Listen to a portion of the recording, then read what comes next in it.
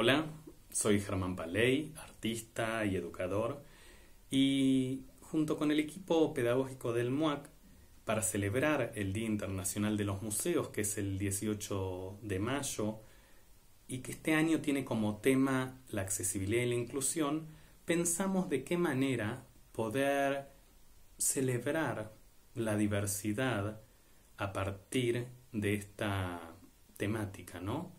Y se nos ocurrió una idea que tiene que ver con hacer un manifiesto colectivo, porque la accesibilidad realmente es un tema que nos involucra a todos y de esa manera que todos ustedes puedan decir qué piensan, cómo la piensan, cómo creen que es un museo inclusivo, un museo accesible, es una manera también de ir generando conciencia colectiva hacia estas temáticas y poder transformar las realidades a través del deseo.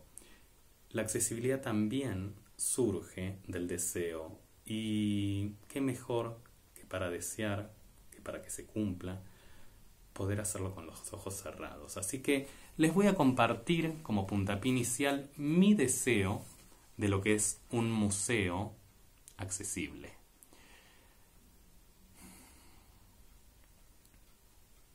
Un museo accesible no es un museo para, sino es un museo con. Es un museo con diversas poblaciones, diversas personas que reconocen no a un gran público, sino a las particularidades incluso con nombre propio. Es un museo que reconoce y escucha no solo habla, no solo explica.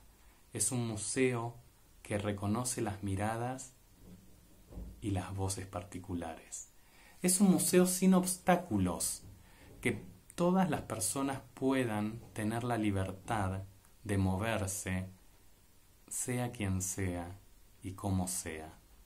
Y, a su vez, esos obstáculos, si existieran, poder brindar los apoyos necesarios para garantizar la autonomía de las personas.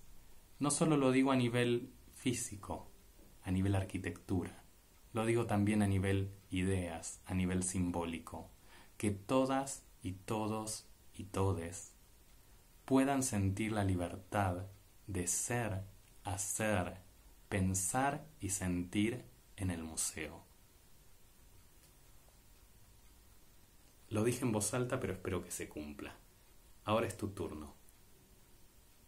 Manifesta tu, museo hacia un museo de todes.